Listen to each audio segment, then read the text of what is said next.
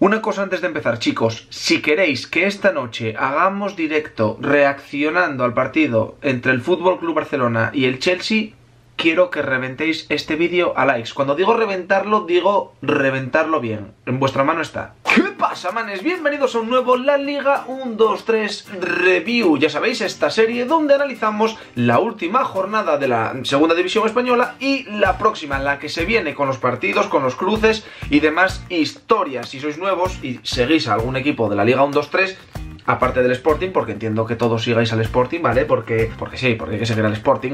Pues eso, os podéis suscribir, activar la campana y oye, abajo en comentarios, ya sabéis, podéis opinar sobre cualquier historia que yo no sepa, a lo mejor pues por un resultado me dices, pues ese resultado vino por un gol que fue fuera de juego y el árbitro no lo pitó, lo que sea, ¿vale? Vamos a empezar con los eh, partidos de la jornada 30, los que se jugaron este fin de semana anterior y vamos a empezar por el del viernes, que fue el Tenerife Real Oviedo, ¿vale? El Real Oviedo volvió a jugar de viernes, jugaba pues fuera de casa en esta ocasión y palmó 3 a 1 en, vi el resumen y con lo poco que pude hablar con amigos míos del Oviedo y tal me dijeron que si hubiese sido un 6-1 que no hubiese pasado absolutamente nada lo cual entiendo que fue una básicamente humillada por parte del Tenerife al Oviedo. El Oviedo ahora mismo está octavo, ¿vale? Cayó del playoff y todo. También ahí arriba casi, casi, casi llegando a puestos de ascenso directo y clon para abajo.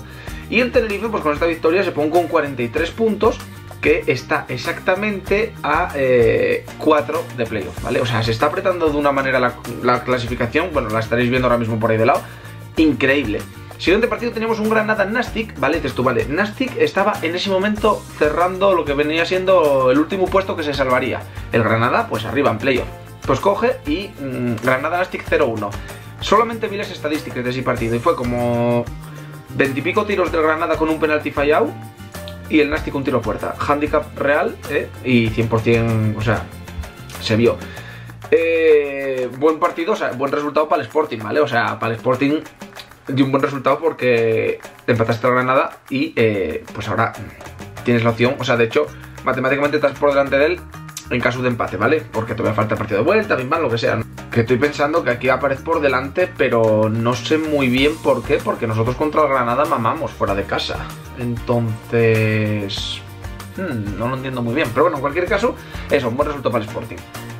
Siguiente, Almería Rayo Vallecano, bueno, el Almería que está decimoquinto con 37, el Rayito segundo con 54 a 3 puntos del Huesca y eh, pues a 3 puntos del Cádiz. Sea, a tres puntos del primero y a tres puntos del segundo. Está ahí en una, del tercero, perdón. Está en una zona de bastante confort. Un resultado que, bueno, a priori se veía venir, ¿vale? Se veía venir que el Rayo iba a meter mano a la Almería. Y bueno, para el Sporting no fue un resultado muy bueno. Era mejor que se ganó Almería, pero bueno, en cualquier caso, ya está. Alcorcón Real Valladolid, empate a ceros. El Valladolid que cae hasta la décima plaza. El Alcorcón ahora mismo, el farolillo ahí al límite. O sea, está salvándose, pero por los pelos, a cuatro puntos de la cultura. A cuatro, no, perdón. A tres puntos de la cultural leonesa. Está un poquitín ahí al límite con 35 puntos, pero bueno, no va, no va tan mal, no va tan mal el Alcorcón. Siguiente, Cádiz, Sevilla B, pues 4-1 que clavó el, el Cádiz al colista, perfectamente comprensible, el Cádiz que va tercero con 51 puntos y el Sevilla B que prácticamente tiene pie y tres cuartos en, en segunda B, ¿no? Eh, siguiente, ojo aquí porque esto me está llamando bastante la atención. El Zaragoza. El Zaragoza que siempre os digo que, que me alegro mucho por él pues, cuando gana por culpa de que, bueno, pues que me cae bien y que está Ray, que es muy buen amigo mío y me alegra pues que también se metió aquí un poquitín con el tema de hablar de su equipo, ¿vale? Aunque no sea viral, aunque no sea un tema que dé views, que te vaya a teletransportar a la fama y que te permita comprar barcos and bitches, pues bueno, por lo menos eh, está dando y caña ahí. O sea que si queréis ver vlogs de segunda por la parte del Zaragoza, ahí podéis ir al canal de King Ray. Y lo dicho, ganó el Lorca 3 a 1, pero lo que más me mola del Zaragoza es que va a fuego. O sea, lleva de los últimos 5, 5 mm, victorias. Así de fácil. O sea, lo que me marca aquí, no sé si llevaba del 18, 16 puntos o algo así, una burrada. Y ahora mismo están séptimos con 46, a 3 del Sporting, ¿vale? O sea, a 3 del Sporting, que no oye nada. Pero bueno, lo dicho, se están acercando muy bien, muy bien a, playoff y oye, yo que me alegro, ¿no? Siguiente partido, Barça B Numancia, empate a es un Numancia que no me esperaba que fuese a, empatar con el Barça B, yo creía que, iba a ganar porque es que el Numancia también se está descolgando, están ahora mismo novenos con 45, de haber ganado, eh, pues oye, se podían meter ahí con sus 47 o tal igual, y joder, estarían enganchados con la zona de playoff, pero bueno, tampoco hay que se hayan descolgado una barbaridad, no obstante sí que pensaba que iban a ganar Y luego, bueno, pues Sporting Cultura Leonesa con el 4-0, que yo contaba con esta victoria, ¿vale? O sea, confiaba en que ganásemos a la Cultu, que no obstante tenéis el blog post partido si lo queréis ver en mi canal, lo tenéis ahí con más información sobre el partido. Pero bueno, 4-0 sí que me pareció un poco, un poco savage, un poco excesivo, ¿vale? Porque, joder, la primera parte no se mereció este resultado el, la Cultu ni nada, o sea que, bueno, un partido que para nosotros ya cojonudo y que nos teletransporta a la cuarta plaza, ¿eh? Ojito, el Sporting cuarto ahora mismo. Siguiente, otro que no me esperaba para nada. Córdoba, Lugo. El Parrilla Sandoval hizo mamar en casa al Lugo. El Lugo eh, que nos ganó a nosotros y cuando nos ganó a nosotros era, ¿qué? Seis semanas o por ahí, no sé cuántas. Pues estaba arriba en playoff casi llegando a puestos de ascenso directo. Ahora mismo están undécimos, con 44 puntos. Que lo mismo, te enganchen dos victorias y se vuelven a poner arriba, ¿vale? Porque, a ver, voy a deciroslo, para que si no lo estáis viendo. Desde el que cierra el playoff, que Hielos Asuna con 47 hasta el undécimo, que el Lugo con 44, hay 3 puntos. O sea, ahí hay ahora mismo 5 o 6 equipos en, una franja. Que un par de victorias de uno, un par de derrotes de otro, te, o sea, te catapulten arriba. Y eso, pues el, Parrillas que cogió y metió en mano al, Lugo, el Parrillas que lleva tres victorias consecutivas, nueve puntos seguidos, y bueno, pues están con 28 puntos, a 7 del Alcorcón, que y el que ahora mismo está fuera. O sea que, ojo, que el Córdoba puede ser que, si, bueno, yo, yo ya te digo, si el Parrillas salva, salva al Córdoba, sería algo jodidamente épico, porque no me lo esperaba, pero para nada. Albacete Osasuna, otro pinchazo aquí que tampoco me esperaba, que los Asuna empatara contra el Albacete, los Asuna lo mismo, están ahí arriba, zona de playoff, el Albacete, bueno, está de tabla con 40 puntos. Jugaba en casa del Albacete y tal, pero es que jugaron contra 10 también. Hubo una expulsión del Albacete. Bueno, pues ahí está, ahí está. No, no fue quien a ganar el Osasuna. Al igual que en el último partido no fue capaz de ganar el líder, el Huesca al Reus. El Reus, pues que lo mismo, está de tabla, decimocuartos, y el Huesca líder, pues lleva de los últimos cinco partidos una victoria, dos derrotas y dos empates. Tenía tiene un margen todavía potente, ¿vale? Tiene seis puntos sobre el tercero, ¿vale? Tiene seis puntos ahí. Pero, o sea, es que se está confiando de una manera muy, muy heavy. Yo creo que el Huesca esta semana debería perder otra vez, ¿vale? ¿Vale? Porque jugamos nosotros contra ellos, que lo veremos luego. Pero ojito con el Huesca que no se columpie. Vamos ahora con los partidos de esta semana, vamos a ver qué cruces hay, vamos a ver qué me interesa a mí que se dé. Y bueno, ya sabéis, vosotros podéis comentar sobre estos partidos que ya se jugaron y sobre los que se vienen ahora. Que ojito, hay, bastante tela ahí, ¿eh? Para cortar. Pues vamos a empezar por el del viernes, el encuentro que enfrentará al Sevilla Atlético contra el Albacete, lo mismo, colista contra el Albacete que está decimotercero con 40 puntos. Eh, al Sporting directamente no influye mucho, digamos, esto. Sí que es verdad que, bueno, el Sevilla necesita ganar si quiere tener algo a lo que se agarrar mínimamente, una mínima luz de esperanza al final del túnel. Y el Albacete, bueno, pues si suma 3 se pone con 43 y quién sabe hasta dónde podría dejar volar su imaginación. Pensar que el Albacete, yo me acuerdo del Albacete estando al principio de temporada en plan horrible, ¿no? Pero bueno, eh, yo creo que ganará el Albacete, creo, creo. Y, y, bueno, a ver qué pasa.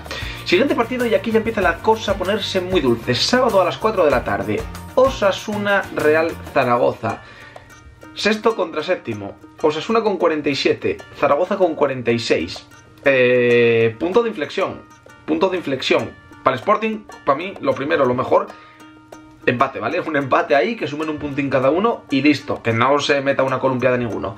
Pero ya te digo, si los Asuna gana, se pone con 50, pasándonos a nosotros, al menos virtualmente hasta el lunes, y el Zaragoza se pondría con 49, empatándonos a nosotros, al Sporting. O sea... Mm, Partido, partido de mucho ojo, sábado a las 4. Estar atentos, chicos, porque yo creo que va a ser de los partidos de la jornada junto con otros dos.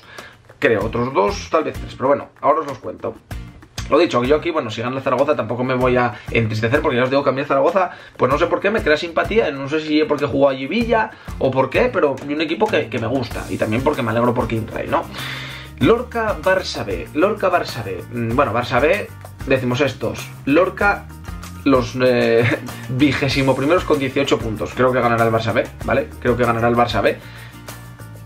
Jueguen fuera, pero es que el Lorca, salvo esos dos empates contra Sporting y Cádiz, que dices tú, joder, ¿qué está pasando aquí? Siguen muy mal, muy mal. Yo creo que tanto Lorca como Sevilla B lo tienen ultra mega jodido. Muy, muy difícil.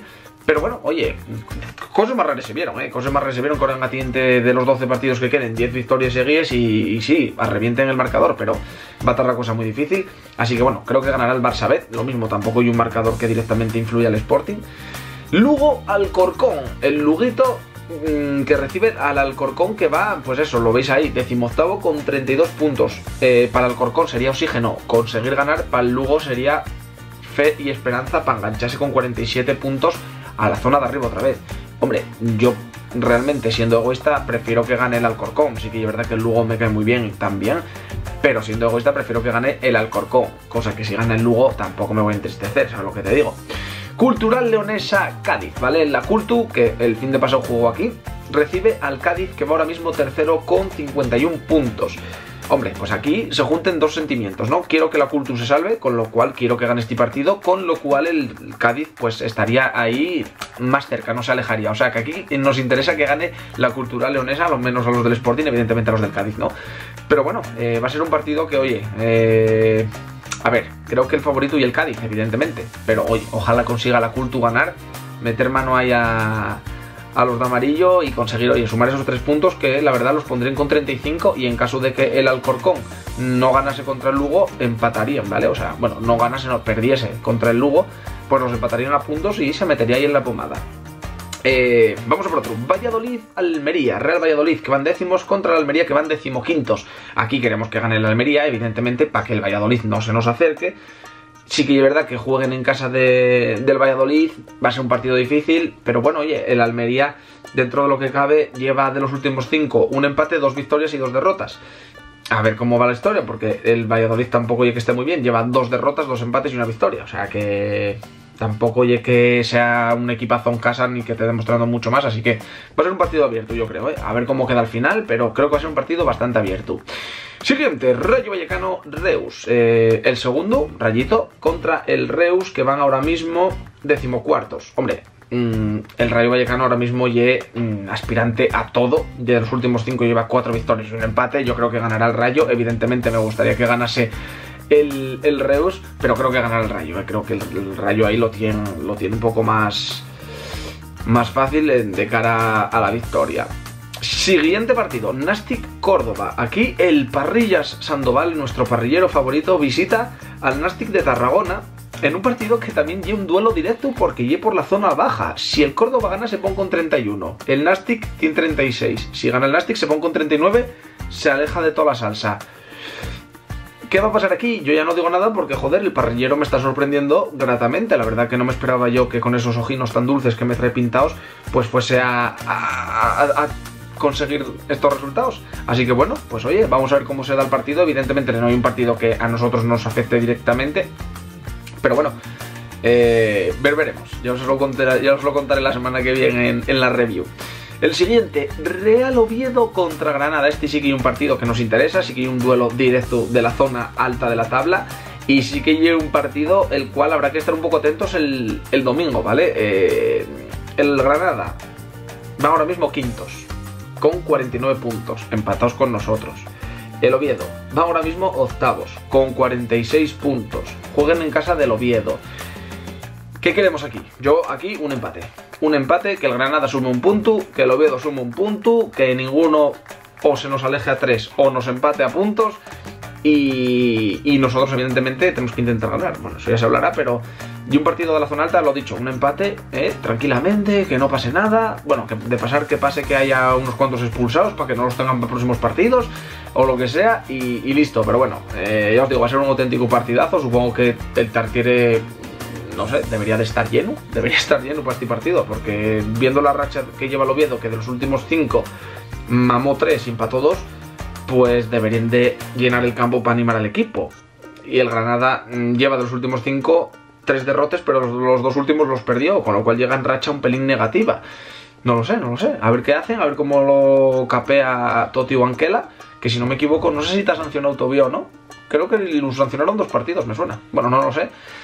Pero bueno, en cualquier caso habrá que estar atentos, al igual que hay que estar atentos al Numancia-Tenerife, porque Numancia noveno, Tenerife decimosegundo, separados por dos puntos. O sea que si aquí gana el Tenerife, adelantaría el Numancia. Si el Numancia gana, se pondría con 48, se metería arriba. Otro partido bastante interesante. Repito que es que hay mucha gente ahí arriba. Siempre hay alguno que se enfrenta contra otro de los de arriba. Y aquí que nos interesa, pues yo lo mismo. Creo que o victoria del Tenerife o un empate, ¿vale? Mm, el Tenerife va en una racha muy positiva. De los últimos 5, 4 ganados, uno empatado. Y bueno, el, Numancia la verdad que lleva de los últimos cinco una victoria, tres derrotas y un empate. O sea que en principio el Tenerife, que va como un cañón, podría meter mano al Numancia. ¿eh? Desde que llegó tu tío Echeverría y de entrenador, la cosa funciona. Y el lunes, partidazo, partido de la jornada, como lo queráis llamar, Huesca Sporting de Gijón, el líder 57, Sporting 49. Vamos a visitar a, pues eso, a, Rubí, eh, otra vez, a nuestro exentrenador. Y aquí hay que ganar, hay que ganar o mínimo, mínimo, mínimo empatar. Y dirás tú, hombre, mejor, mejor ganar. Claro que es mejor ganar, evidentemente, porque ya no hay que recorte estrés al líder, y que sume estrés en esa locura de pomada de equipos que hay ahí, ¿vale? Porque eso es una auténtica chifladura máxima. Dicho esto, un empate no estaría nada mal fuera de casa. Un empate contra el Huesca, porque la semana siguiente, chavales, nos visita el Rayo Vallecano. O sea, en dos semanas jugamos contra el primero y contra el segundo. Así de fácil, ¿vale? Así de fácil os lo pongo. Así que nada, el lunes, eh, si, queréis que hagamos un directo reaccionando al partido, dejádmelo aquí abajo, ya sabéis cómo va la movida. Podéis dejarme también, evidentemente, cuáles creéis que van a ser vuestros resultados, cuál creéis que va a ganar, cuál creéis que va a perder de todos los partidos. Si tenéis información de, oye, que el Cádiz tiene lesionado al lateral derecho, pues también lo podéis poner porque yo esos datos no los, no los controlo. Y, nada, lo que os decía al principio del vídeo, si esta noche queréis que hagamos un reaccionando al Barça-Chelsea, tenéis que reventar esto a likes como si nunca antes lo hubierais visto, tenéis que compartir el directo con vuestros colegas y si queréis podéis seguirme en Instagram porque os puedo decir y os digo así al final que suele llegar poca gente en plan de, va, la gente ya deja el vídeo y tal, se va a venir dentro de muy poquito sorteo por Instagram. Yo no os digo nada, así que podéis seguirme en Instagram, ¿eh? Os lo voy recomendando, lo tenéis abajo en la descripción junto con todas mis redes sociales. Nos vemos en próximos vídeos y en próximos directos. Un brazo, cracks. Chao.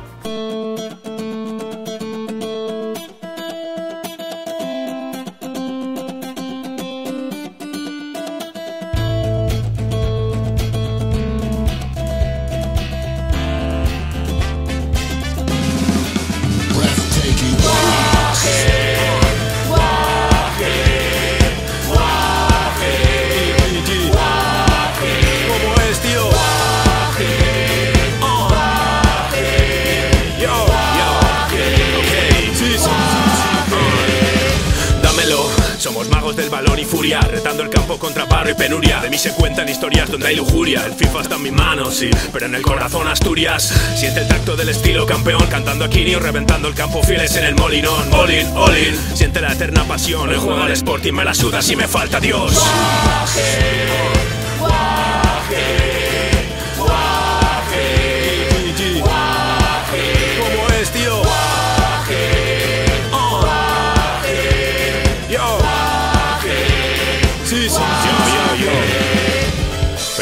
faltas tú. Eterno te llora Gijón. Pero me faltas tú, eterno te llora Gijón, unido por tu fuego, humanidad y profesión, porque no ser uno más del montón especial y amado, esto va por ti amigo, eterno preciado.